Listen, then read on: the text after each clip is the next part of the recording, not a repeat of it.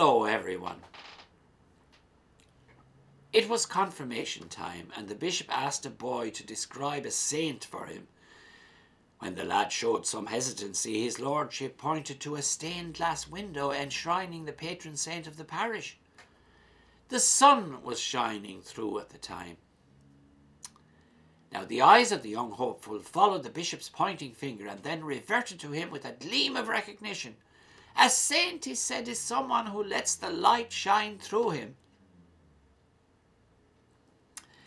Now, saints are guided by the light of faith in the big and little decisions of life. For them, their faith is not something which they practice for an hour on Sunday and then forget about for the rest of the week.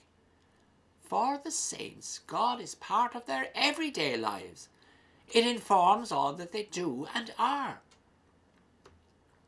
It's Halloween time again. In pagan times, it was regarded as a night of fear when demons roamed round to welcome the winter darkness.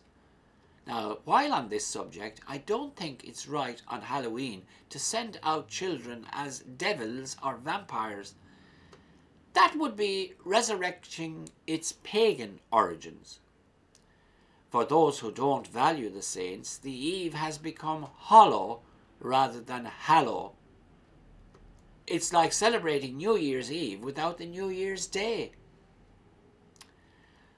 Our faith forces us to combat the dark forces of this world, which will include shady areas in our own lives.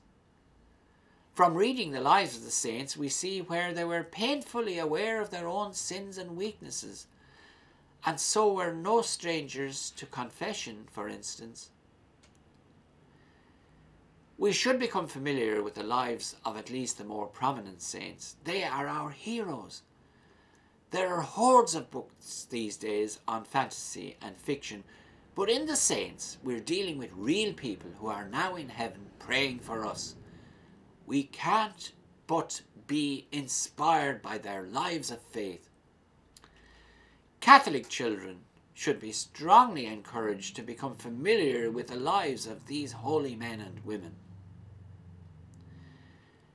When I was at secondary school, that's not today or yesterday, one of the books on our recommended reading list was entitled Saints Are Not Sad.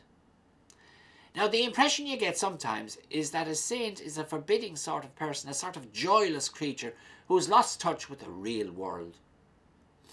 They say that Padre Pio, Saint Padre Pio now, the stigmatist, he had an impish sense of humour that lit up the lives of his confreres in the community, not at all like the forbidding person he's sometimes portrayed as. Sainthood and sadness just don't mix.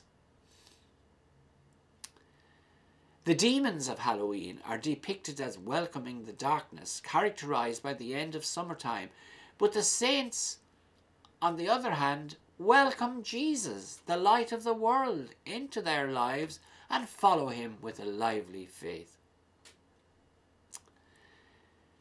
Thank you all for listening and God bless you all.